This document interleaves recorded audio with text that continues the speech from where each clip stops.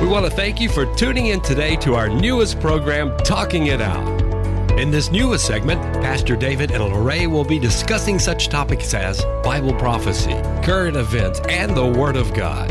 We trust each of you will enjoy today's edition of Talking It Out.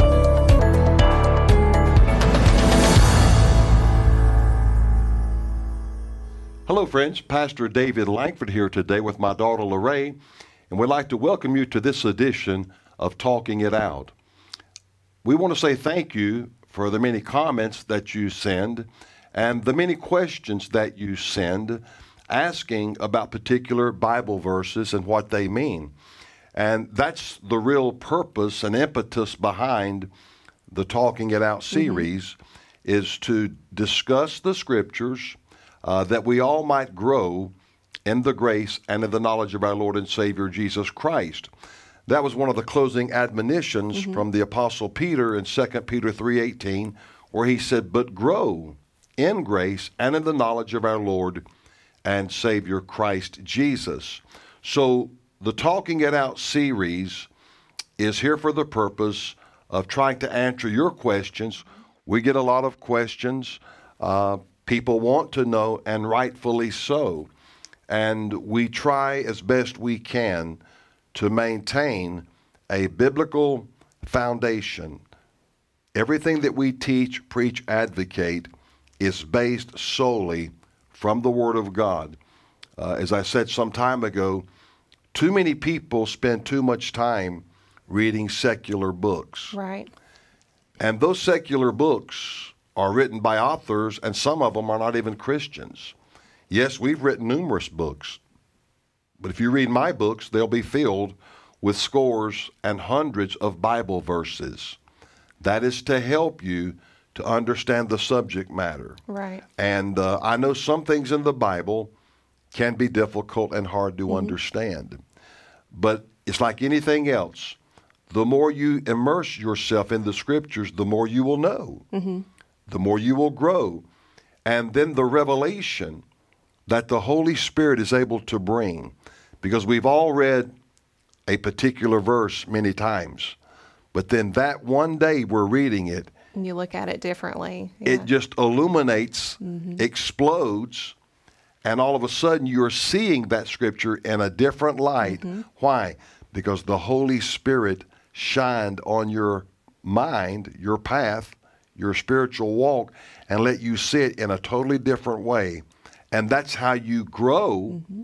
and you get the vast knowledge of our Lord and Savior Jesus Christ. So, Lorraine, we're happy to have you here with Thank us you. again today. Good to be here. And um, you want to go ahead and share with us? I do. So we do enjoy your questions. Um, you know, I, I, mentioned our email, talking it out at the voiceofevangelism.com. If you email your questions there, we love to talk about this. We want to speak to you guys, so we really enjoy that you guys send your questions in. Uh, a question that we received the other day, um, a lady asked, "Many proclaim that there's there's no condemnation, as in the once saved, always saved philosophy, leaving out the condition that the promise is to those who follow the Spirit and not the flesh." And she basically just wanted you to kind of expound on that a little bit. Well, let's go to the renowned passage in Romans 8 1. There's therefore now no condemnation to them who are which are in Christ Jesus, who walk not after the flesh, but after the Spirit. Now, I want you to notice verse 2. For the law of the Spirit of life in Christ Jesus hath made me free from the law of sin and of death. Now, Paul is not talking in verses 1 and 2 about the Mosaic law. Mm-hmm. He's talking about the law of sin, the law of death versus the law of freedom and life in Christ. You might say, like the law of gravity, what goes up must come down. Right. So the Holy Spirit convicts us of our sins. Mm-hmm. Uh, the devil is always trying to condemn us. Uh, Revelation 12 and 9, he is the accuser of the brethren. Everything Satan says about any of us to the Father is a false accusation because there's no truth in him. And he castigated, made false accusation before the throne of God concerning Job. He said, Job doesn't serve you for nothing. Mm-hmm. So Job served God because he loved him. Right. Satan was trying to make an issue over servitude. And so again, he falsely accused Job uh, before God. But getting back here to Romans 8 and 1, there's therefore now no condemnation to them which are in Christ Jesus, who walk not after the flesh, but after the Spirit.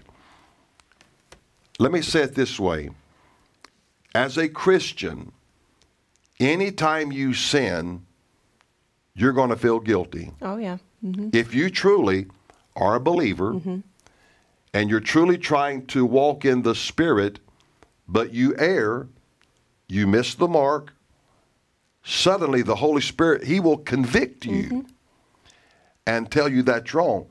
But see, the devil will condemn you, and the reason he brings the guilt and the condemnation is why don't you quit? Yeah, exactly. Give up. give up. You can't serve God. You're constantly failing God. Uh, Jordan and I were talking uh, the other day here in the studio about that. When I was a young boy growing up, my grandparents uh, raising me, man, I was taught the way was straight, the way was narrow. There's a heaven to gain, and there's a hell to shun. And you know, my grandma was adamant. You know who I befriended and who I mm-hmm. went with, and you might be in the car and they down and rob the bank, and you're going to be just as guilty as they Yeah, are. I mean, she was always hammering me with this kind of stuff, and it was a type of guilt. Yeah, exactly. But I know what she's trying to do. She's trying to keep me from evil. right. But the problem was, she didn't tell me, David, if you do sin, don't quit. Right. Ask God forgiveness and keep going on. Exactly. It wasn't until I came back to the Lord, uh, June the 6th, 1978. I was 23 years of age. I was a very young man. But I understood wait a minute, because I missed the mark. You know, I, many of you have heard my testimony. I, I quit smoking, drinking, uh, dope, nightclubs. I, I stopped all of that, just like that. Yeah. But I had a little bit of a problem with my language. Right. I didn't stop that Immediately. just like that.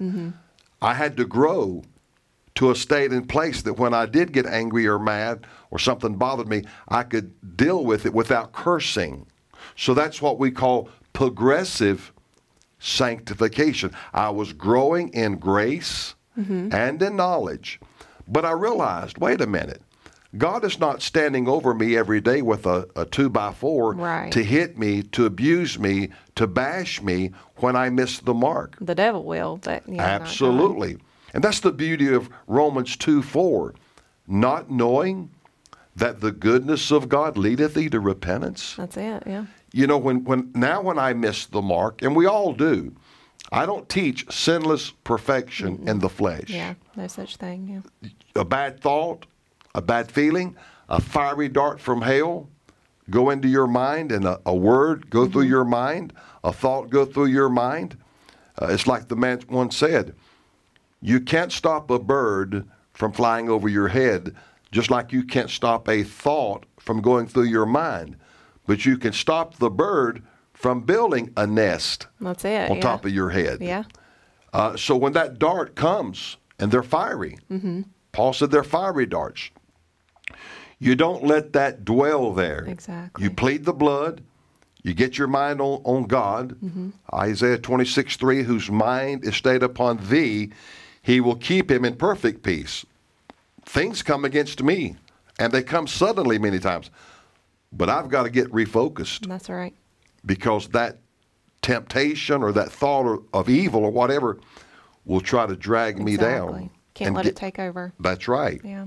So there is no condemnation to them that are in Christ Jesus, who walk not after the flesh, mm-hmm. but after the Spirit. So what is Paul saying?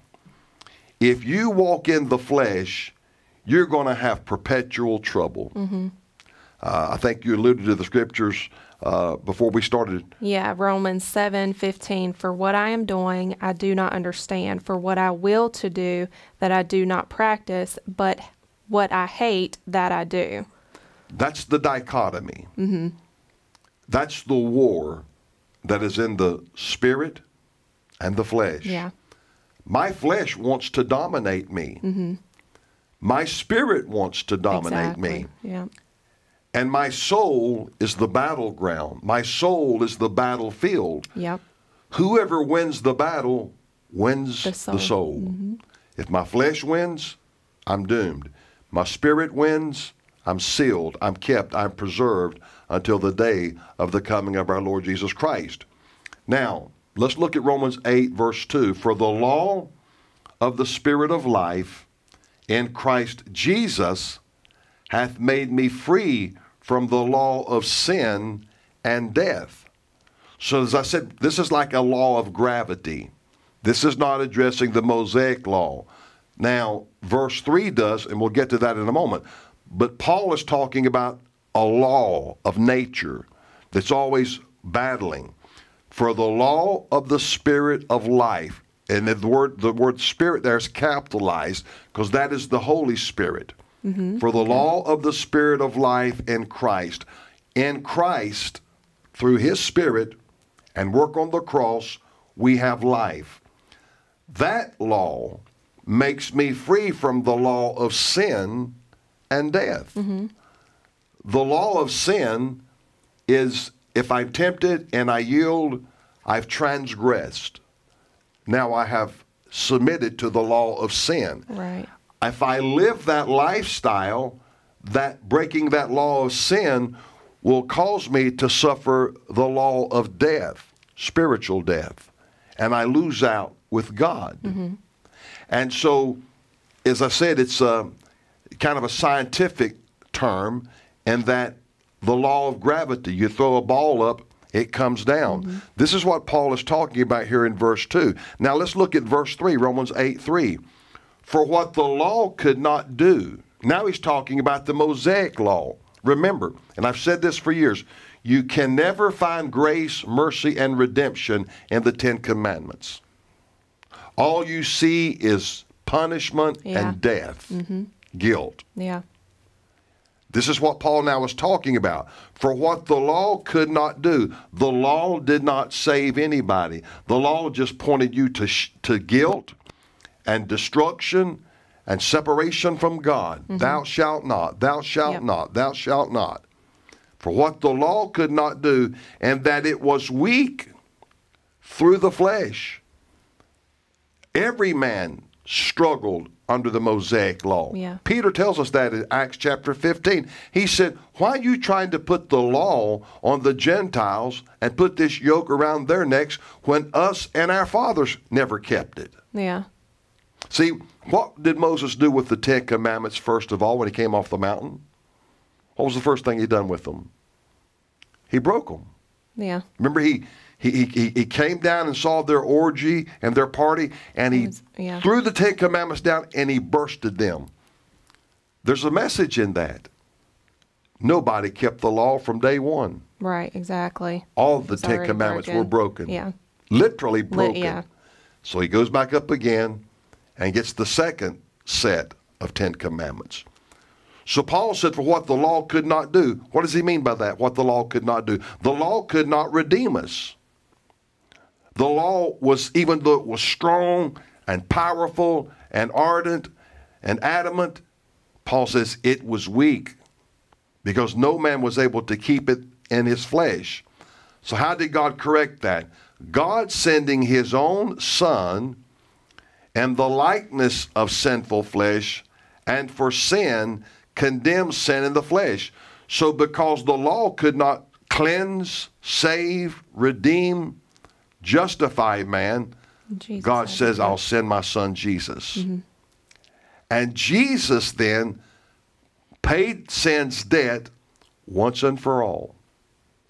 Every year, the high priest would go into the Holy of Holies and offer that blood sacrifice. We call it Yom Kippur. Some people pronounce it Yom Kippur. Yom, Y O M, means day. Kippur, Kippur means atonement, day of atonement. So that would always happen in the month of September or the month of October.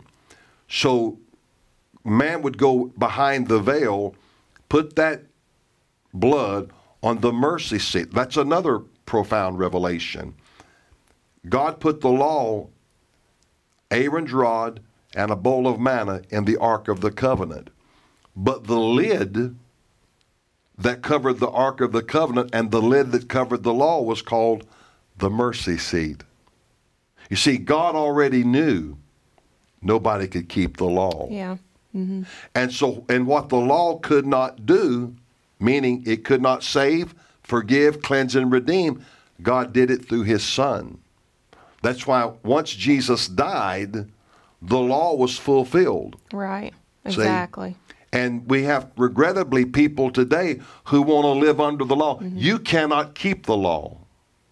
You are unable to keep the law. Now you may you may somehow in your mind feign and pretend you're keeping it, but James 2:10 says, Whosoever therefore shall keep the whole law, yet offend in one point, he's guilty of all. Yeah.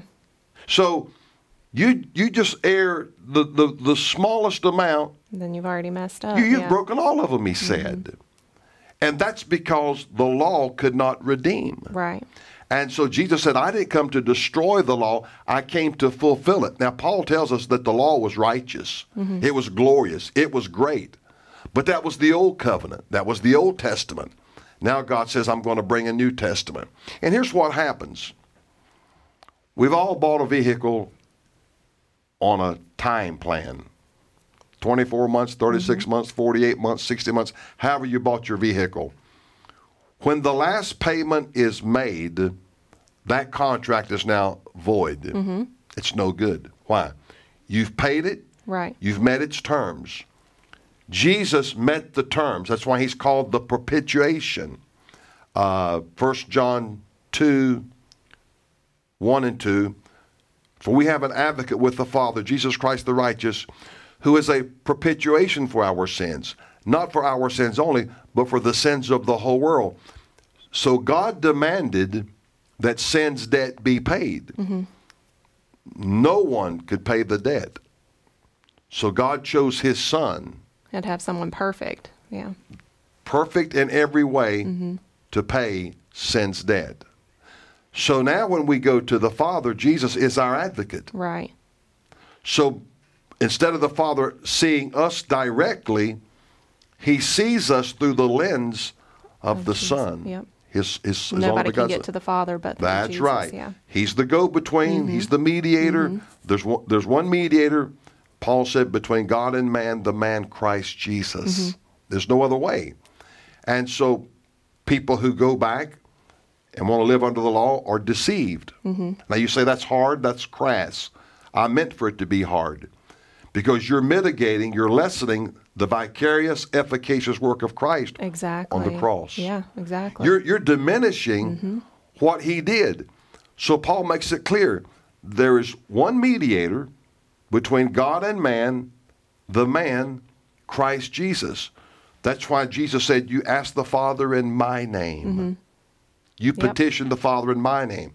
This is where Catholicism gets it wrong. Well, you can petition Mary. It's believed that Mary, the mother of Jesus, can get favors from her son. Mary described Christ as her Lord Yeah, and Savior and. Redeemer. So they venerate, they exalt her as something more than what she is. Yeah. It's called the Magnificat. She she needed him to be a savior for her just like all men do. Exactly. There, there was no difference there. So condemnation fundamentally comes from the devil. You know, and conviction comes from the Holy Spirit. And see, condemnation drives us away from the cross. Okay, I sinned. Yeah. I don't want to deal with it. I don't want to talk about it. I don't want to sweep it under the rug. I want to go on with my life. Conviction says, no, no, no. We need to stop. We need to repent. Exactly. We need to get this right Right. because we don't know what tomorrow might bring forth. So, kind of mentioning that, we we had another question that really goes along with that. He says, "I've been a Christian for a long time, but I've been struggling with a particular sin over and over again. A friend told me that if I keep willfully sinning, God will reject me. Do you think that is true?" Yes. Yeah. Um, Psalm 66, 18. If I regard iniquity in my heart, the Lord will not hear me when I pray. Yeah. Now, I'll be 66 years of age my birthday. Um, I've shared my testimony. I, I practiced celibacy for four years from the time I was 23 till I was 27. There was one thing I, I did specifically. I made no provision for my flesh. Yeah. Now, when this person says, I keep committing The same. the same sin, sin, you gotta, first of all, he knows what the sin is. Right. Exactly. Yeah. He knows it's wrong, mm-hmm. but he keeps doing it. Romans 13, 11. And that knowing the time, that now it is high time to wake out of sleep. For now is our salvation nearer than when we believed.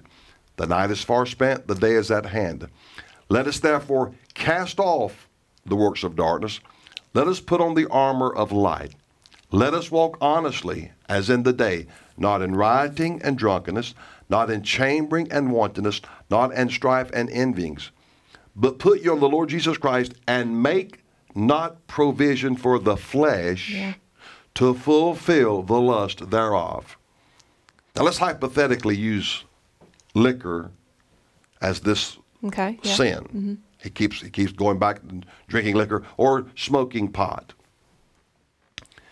If that's what your sin is, you're foolish to put a pint of liquor in your top dresser drawer or to put a a lid, an ounce of pot. We called it lids back in my day. I don't know what they call it nowadays because I've smoked none in 43 years. If you put that in your dresser drawer, you've made provision for the flesh to specifically sin. Right. Because when you hit that weak moment, it's there, super easy to have access to. Just in case I sin or in case I get weak, there it is. Well, what you've done, you set yourself up for failure. Um, he's he's, he's this is a, a, a friend, a brother, a, a man I, I pastored, terrible alcoholic. I, I never knew anyone like him. He would go buy a gallon of scotch and a gallon of milk Wow. on Friday, and he would drink it all up by Sunday morning. Wow. And his first name was Jimmy, and he's dead now. But I had such a compassion for that man and his wife. Her name was Carolyn. And I really loved those people. And he just struggled. He just struggled. And what he was doing was making provision mm-hmm. for the flesh in case he failed. And I got him a, a handkerchief and I anointed it with oil. And I said, Jimmy, put this in your wallet. I said, the next time you're tempted, whether it's at home or you drive to the liquor store mm-hmm. and you're sitting there in the parking lot, will you please do this for me? He said, what? I said, pull out that prayer cloth and look at it and identify that as a point of faith. Yeah. God, I'm not going to do this. Mm-hmm. And I said, God will give you the, The. Mm-hmm. power and the mm-hmm. strength to overcome that. Yep. And from that point onward, he never drank again. Wow. Now, what happened? Even though Jimmy was probably in his late 40s, early 50s at that point, I was just in my 30s as his pastor. But see, he realized because now he has something tangible. Exactly. And when and when I would see him at church, or I would go visit him and his wife, they run a little store uh, in Kannapolis. Um, he'd pull out that Handkerchief. handkerchief, yeah. say, still "I got still it. got that anointed handkerchief." yeah. It wasn't the handkerchief; No. it was a point of contact of faith with God. That's right. And the gentleman may be listening who's struggling with this particular sin. Mm-hmm. Get you a piece of cloth, uh, anoint it with olive oil. Uh, you can buy olive oil on the internet, and some of them has uh, myrrh and different. Uh, uh, uh, it's like perfumed oil. Right. Like essential oils, probably. Yeah. And put that in your pocket, Mm-hmm. in your wallet or whatever, and carry it with you. I've, I've even had people, uh, concerning their sons or their daughters or grandchildren, I said, take this prayer cloth, put it under their bed. They won't Yeah. even know it's there. Yep. But that is a point of contact of faith that God's going to convict them and get them out of that sin. Right. But the brother asked the question, or someone told him, if I keep living like that, will I will I backslide? Will I lose out with God? Yeah. Yes, you will. Yeah. Mm-hmm. And how? Why would I say that? Matthew six twenty four. No man can serve two masters. Mm-hmm. Either he will hate the one and love the other, else he will hold to the one and despise the other. You can't have your hand in the hand of the devil and in the hand of God. That's right. You have to turn loose of one of mm-hmm. them. And this is why prayer is so important. Mm-hmm. And I said this, and somebody reminded me of it in an email the other day. If you keep praying, mm-hmm. you'll stop sinning. Yeah. But just as surely as you stop praying, you'll start sinning. I know. You just can't get down and pray and talk to God with great liberty Oh yeah. if you know you're just living a You're life gonna of know sin. what you done that last week, and there's there's gonna be that hindrance. Yeah. That's the guilt. Mm-hmm. That's the condemnation. When I realize I have missed the mark, I don't sense condemnation. I sense conviction. Right. I've done something wrong. I've said something wrong. I handled the matter the wrong way. And I ask God to forgive me. Yeah. Now, ev- you know, I, I pray every day. And every day I ask God to forgive me of my sins. Yeah. David even said, God, forgive me of my presumptuous things I'm not even aware of. Forgive me of those things. Why? True Christians want to keep the account cleansed. Cleaned. Yeah. Mm-hmm. No, no guilt, no condemnation, nothing there. Keep it clean. You know, uh, since I've gotten up this morning and uh, had my devotions and prayed and come in here to the office, etc., and we're recording this, I've not even had a chance to sin. Yeah. Exactly. See? But my grandpa said something one time, God bless his heart. He said, David, after you live for God long enough, it'll be as natural as a duck going barefooted. Yeah. And he said, How many ducks have you ever seen wearing shoes? And Never. said, None. Yeah. And and I thought that's so true. It's mm-hmm. natural. Mm-hmm. To have on shoes for the duck would be unnatural. Exactly. Yeah. So you start living the Christian life. It's it's a way of life. Yeah. It's a lifestyle. It's a lifestyle. Mm-hmm. Just as a sinner lives a lifestyle of sin. They lie, they cheat, they get drunk, Steal. they have adulterous affairs, they steal, they embezzle, um, because that's their life. That's who they are. And so when you repent of your sins, now you start working to change all of that. Exactly. And like you said, you got to get back up. Don't don't beat yourself up that you messed up. You know, just get back up. Keep going. I, I preached a message years ago, having failed God, what do I do? and Get back And, up. and I've said mm-hmm. it many times. It is a terrible thing to fall. yeah. You know, and some falls are greater than others. Yeah. Oh yeah. But the worst thing is to fall and I just stay there. That's right. Get up, Mm-hmm. get determined. I've used the analogy put a saddle on the altar and ride it to heaven. There you go. Don't get off. See, the devil will try to buck you off, Oh yeah. throw you off, throw you a curve. And like you said, he's going to tell you you messed up. You can't do it. And that's what he wants you to think. Well, that's how he breaks people down. Yeah. And and keeps them down. Yeah. And he'll say things to the believer, well, if you were really a spirit filled child of You God, wouldn't, you wouldn't have done, that. Yeah. But see, that God knows that's the humanity, that's the Adamic nature. Yeah. You know? And I think about the Apostle Paul. We need to be like the Apostle Paul. Paul defined, described himself as the chiefest of sinners. This guy consented to Stephen's death. Now, how many times do you think when he's penning these epistles, these letters to churches, the devil is saying, You hypocrite, you. Yeah. Look at all the stuff you did. And you think you're qualified. You think you're worthy to write the church at Thessalonica about a, a subject matter of adultery or fornication or, or murder or clamor. And look what you've done, Paul. Yeah. Paul buried the past. That's it. Well, I mean, that's like you. You know, you had a past, you have a testimony now, and, and you don't sit here and, and dwell in it. Well, you know, I, I lived a, a sinful life, so now I can't preach to, you know, the congregation. You don't you don't let that stop you. I have no condemnation. Yeah. Mm-hmm. I can preach with the greatest liberty against sin because I don't live a life of sin. Exactly. Have I sinned? Have I missed the mark since I became a Christian 43, Three. almost 43 years ago? Yes, I've missed the Yeah. mark. Mm-hmm. No, I didn't go out and commit adultery and stuff like that, but I did things that I knew was not right. Right. But I was growing and I was climbing the ladder. Yeah.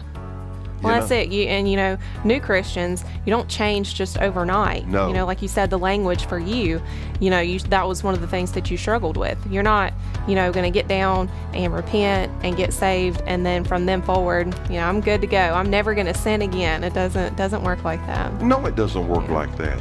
And that's why I don't preach sinless perfection. Mm-hmm. My flesh is corrupt. Yeah. Mm-hmm. I'm redeemed spiritually, but I'm certainly not redeemed physically. Right. My my gray hair, my uh, broke a tooth the other day again. Uh, just there's always something because of this vessel Exactly. is is is is broken down by the wages of sin. But the good news is we're We'll have a going to receive body. a new body. We want to thank you for tuning in today as we discuss current events from a biblical perspective. Please feel free to send us your questions. Who knows, your question may be the one they discuss on the next edition of Talking It Out. Please send your emails to talkingitout at thevoiceofevangelism.com. Again, talking it out at thevoiceofevangelism.com. Or write us at Talking It Out, P.O. Box 502, Casar, North Carolina 28020. Again, that's P.O. Box 502, Casar, North Carolina 28020.